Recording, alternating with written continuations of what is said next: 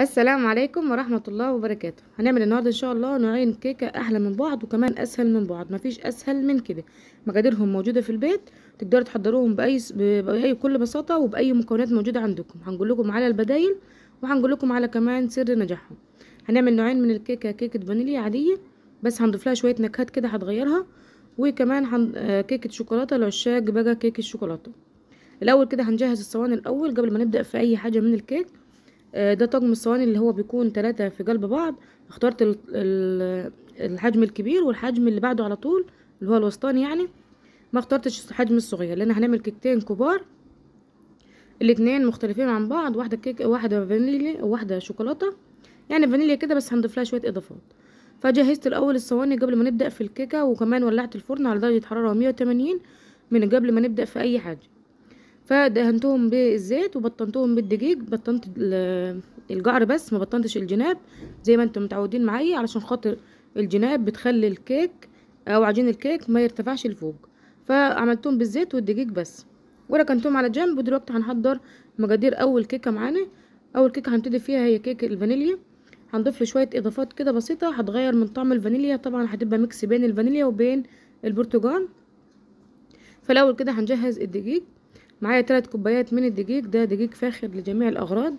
آه تقدروا تستعملوا أي دقيق حتى لو أنتوا فلاحين تستعملوا الدقيق اللي هو ال- الجمح اللي أنتوا بت- بتطحنوه عندكم في البيت.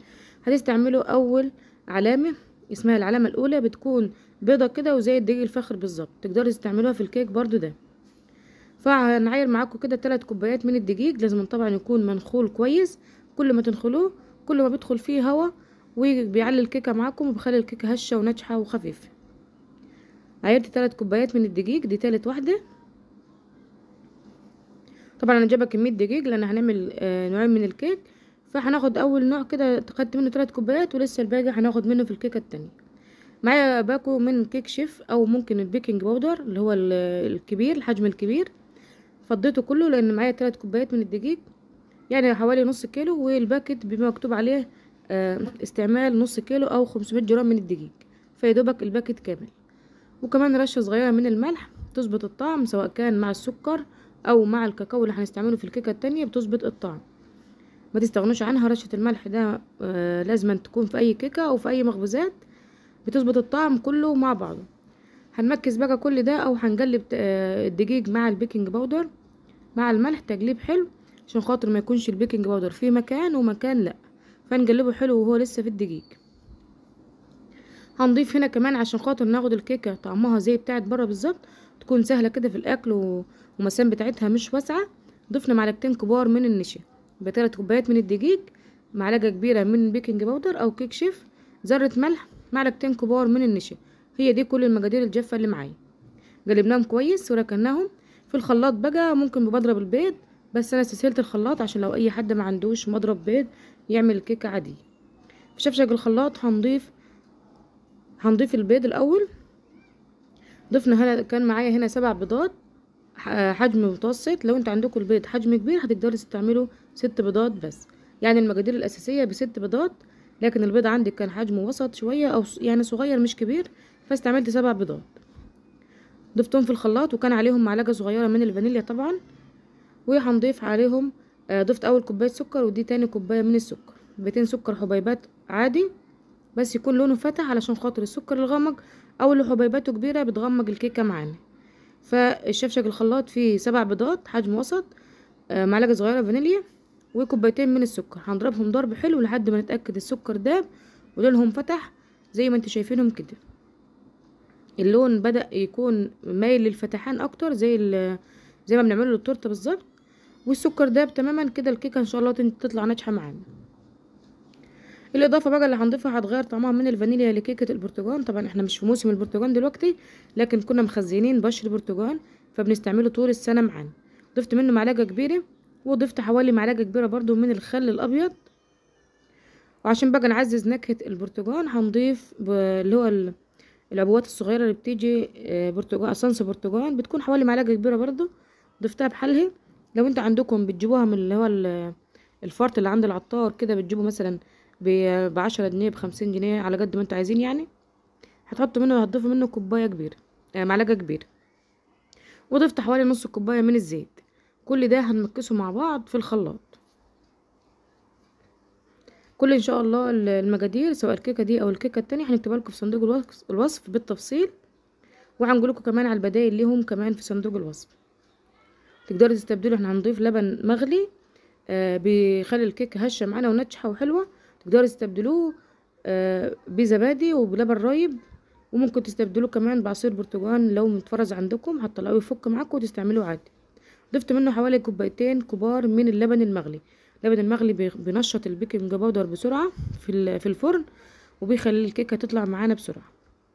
مكسنا كل ده في الخلاط يعني ضربناه ضرب خفيف كده لحد بس ما اللبن المغلي آه، اختلط مع ال- البيض ومع كل المكونات اللي إحنا حاطينها في الخلاط. ونزلنا عليهم على طول على الدقيق اللي إحنا حاطين عليه ال baking powder والنشا والملح. هنقلب بقى تقليب بسرعة عشان خاطر اللبن المغلي طبعا هيكتل معانا الدقيق. فالتقليب يكون آه، بسرعة كده علشان خاطر ما يتكتلش معاكم ويكون حبيبات معاكم في في خليط الكيك. تقليب كده بالمضرب بس بالإيد عادي كده. كل المكونات ديت تقدروا تعملوها لأي كيك آه سواء مثلا بالزبادي أو بعصير البرتقال تستبدلوهم يعني اللبن. بزبادي أو بعصير برتقال أو بلبن رايب. نفس المقادير بالظبط هتطلع معاكم ناجحة إن شاء الله.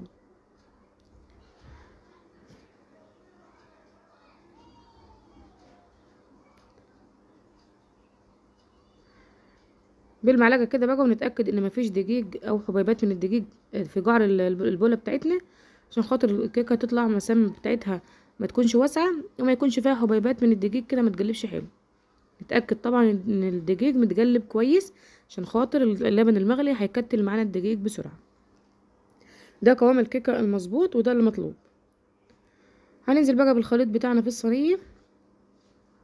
ده ميكس بين الفانيليا وبين آه البرتقال. طبعا إحنا مش في موسم البرتقال زي ما قلت لكم بس حطيت النكهة علت النكهة شوية وخلت الطعم حلو. ممكن تستعملوا ذرة صغيرة من اللون الأصفر تخلي لكم الكيكة بتاعتكم لونها أصفر آه لون يعني زي اللي بتنباع في الأفران بالظبط. ضيفوا بس نقطة صغيرة كده أو حوالي ربع معلقة صغيرة كده طرف المعلقة الصغيرة كده بتاعت الشاي. هتضيفوا بس اللون الصغير كده هيديكوا نفس اللون بتاع الأفران. لكن أنا طبعا ما ضفتش حاجة اكتفيت بس بلونها كده لأن عاملة في الجنب منها كيكة شوكولاتة فلونها كده هيكون مناسب. ركنتها بقى على جنب مش هندخلها الفرن أنا هندخل الاتنين مع بعض. بس ركنتها مع جنب كده عشان خاطر نحضر الكيكة التانية برضو بسرعة كده. هنجهز برضو إحنا كده كده مجهزين الصينية من الأول ومولعين الفرن من الأول. فهنجهز على طول المقادير التانية للكيكة التانية. أول حاجة معايا دقيق برضو فاخر. تقدروا تستعملوا دقيق الغلة زي ما قلت لكم العلامه الأولى. وتقدروا تستعملوا دقيق فاخر بتاع البسكوت والحلويات أي نوع دقيق. ضفت منه أول كوباية وتاني كوباية ضفت نصها دقيق والنص التاني هنضيف معلقتين نشا ومعلقتين كبار من الكاكاو. يعني هنكمل باقي الكوبايات. كل المقادير في صندوق الوصف إن شاء الله. صندوق الوصف هتدوسوا على العنوان. أول مرة كده وهينزل معاكم صندوق الوصف مكتوب فيه أي حاجة أنا بنحب نقولها لكم وأي مقادير بنعملها في أي وصفه يبقى ضفنا كوباية دقيق. الكوباية التانية نصها دقيق وعليها معلقتين كبار من النشا ومعلقتين كبار من الكاكاو. أنا مش عايزه الكاكاو بتاعها يكون غامق فعشان كده ضفت معلقتين كبار بس يعني حوالي تلت كوباية. أو يعني أقل من كمان آه لأن عايزاها فاتحه شوية هن- هنضيف لها كمان إضافات تانية فعايزاها لونها يكون فاتح. ضفت بقى معلقة كبيرة من ال- ال- الكيك شيف طبعا ال- ال- الباكت ده كبير حوالي عشرين جرام فضفت بس حوالي معلقة كبيرة وتاني منها حوالي معلقة صغيرة كده ما ضفتهاش لأن المقادير دي أصغر من المقادير التانية. دي كانت تلات كوبايات دي كوبايتين بس. وضفت ذره ملح ومكست كل ده آه، نخلته كويس. وقلبته كويس طبعا كل ده مع بعض.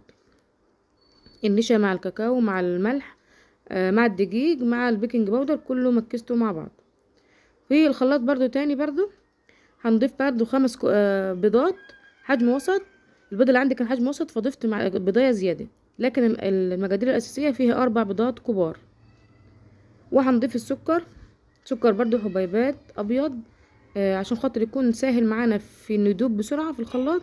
وما يغمقش معانا الكيكة وما يخليهاش يعني فيها نغز كده أو خروم وسام وسام واسعه كده.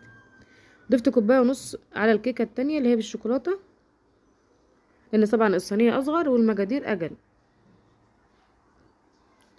هنضرب برضو البيض مع الفانيليا البيض كان كان عليه ذره فانيليا أو حوالي نص معلقة صغيرة فانيليا والسكر فضربتهم مع بعض في الخلاط لحد ما برضو قوامهم ناعم وبقى أبيض كده والسكر داب تماما. نزلت عليهم بكوباية كبيرة برضو من الحليب المغلي ومعلقة كبيرة من الخل الأبيض ونص كوباية من الزيت. الزيت طبعا لازم يكون نوعه كويس وطعمه كويس عشان خاطر يطلع نتيجة الكيك طعمها حلو وريحتها حلوة.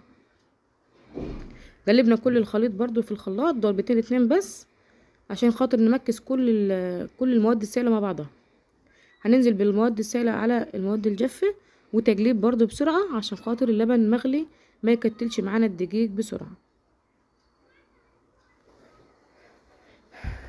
أنا عارفة أنا بتكلم ياما بس سامحوني عشان خاطر ما- يضيعش مننا أي تفصيلة في الكيك ويطلع معاكم الكيك ناجح. من أهم بقى نجاح الكيك إن هو تقليب ال baking powder آه، حلو مع ال- المواد الجافة. استعمال المواد الجافة منخولة كويس سواء كان دقيق أو baking powder أو نشا أو كاكاو أي مواد جافة لازم تتنخل كويس. استعمال سكر أبيض بدل السكر اللي هو لونه غامق شوية أو حبيباته كبيرة. لازم يكون حبيباته وسط كده أو صغيرة ولونه يكون فاتح. استعمال برضو زيت يكون طعمه كويس بيطلع معاكم نتيجة حلوة. آه الفرن لازم يكون والع من قبل ما تستعملوا الكيك أو قبل ما تعملوا فيها أي خطوات عشان خاطر طبعا يكون الفرن ساخن. آه حرارته مظبوطة على على 180 من أول ما تولعوه. أول الكيك ما يتعمل ما يتركنش فترة طويلة يدخل على طول على الفرن. آه إيه تاني؟ آه لازم نمكس كل المواد الجافة مع المواد السائلة كويس ما نسيبش فيها أي تكتلات. هنا بقى ال- الكيكة الشوكولاتة ضفت لها بس حوالي يعني 100 جرام كده من شوكولاتة شيبس لأن كانت مطلوبة كده. يعني لأن رايحة له آه، حد حلو شوية. بيتأمر يعني وأنا أنا إيه بنعمل اللي هو عايزه يعني. أختي كده بصراحة كنت رايحة نشوفها فقالت لي عايزة كيكة فانيليا وكيكة شوكولاتة. يعني بتأمر يعني براحتها. فضفت لها ك- آه، شيبس زي ما هي عاوزة على الكيك الشوكولاتة وكيك الفانيليا سبتها سادة كده هنضيف لها مكسرات. دخلناها الفرن على درجة حرارة 180 في الرف اللي في النص طبعا أكيد خدت معانا حوالي آه، 35 دقيقة وكانت مستوية وحلوة. مفتحش الفرن قبل نص ساعة آه، لحد ما اتاكد منها إن هي مستوية حلو. آه، نغرز بقى سكينة رفيعة زي اللي أنا عملتها ديت أو مثلا خلة سنان. آه، لو طلعت نظيفة ما فيهاش أي حاجة بتكون استوت وحلوة وبنطلعها من الفرن. لو طلعت فيها لسه بواقي من الكيك كده أو خليط من الكيك بتكون لسه عايزة خمس دقايق كمان. فبندخلها الفرن كمان خمس دقايق كده وبعد كده بنطلعها. الصواني ديت آه، مقاسها كبير على الكيك اللي أنا عاملاه لأن ما بنحبش الكيك يكون ارتفاعه عالي. لو عايزين الكيك ارتفاعه عالي استعملوا صواني أصغر من كده. يعني مثلا خليط الكيك اللي هو بالفانيليا اللي هو مقاديره 3 كوبايات دقيق هيتحط في آه، في الصينية اللي هي اللي فيها الكيك الشوكولاتة.